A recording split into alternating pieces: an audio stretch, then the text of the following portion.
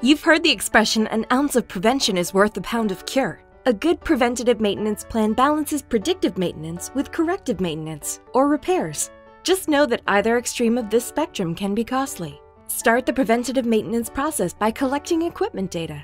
First, list and name all your equipment. Give the equipment a unique name that is categorized and corresponding to a coordinated naming system. Adding this name to the equipment is recommended. Next, gather basic equipment data. This usually consists of items from the manufacturer's nameplate, like the name, date of manufacture, power requirements, model and serial number, etc. Finally, gather supplemental equipment data, including design, electric, HVAC, and shop drawings, a binder of installation, operation, and maintenance manuals, and an equipment or product submittal packet.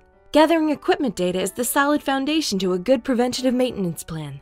Want more info? See our resources in the description below.